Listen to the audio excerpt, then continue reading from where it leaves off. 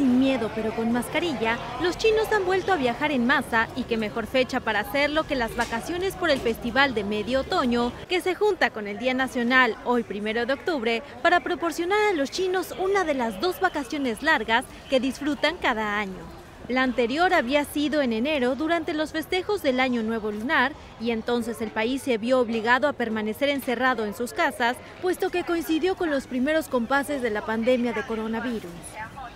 En el centro de Pekín, donde en los días más crudos del virus uno podía escuchar sus propios pasos, hoy el barullo vuelve a ser protagonista, mezclado con imagen de las omnipresentes banderas chinas que cada portal planta a la entrada del edificio. En los alrededores de la ciudad prohibida, el antiguo Palacio Imperial reconvertido en museo, riadas de gente pasean. El mismo panorama que se ve en la Gran Muralla, en el tramo más cercano a la capital china. Así, ofertas turísticas de toda índole, descuentos, hoteles llenos y billetes agotados son la muestra de que el miedo se ha quedado atrás y que aunque viajar no es seguro al 100%, tampoco lo es quedarse en casa.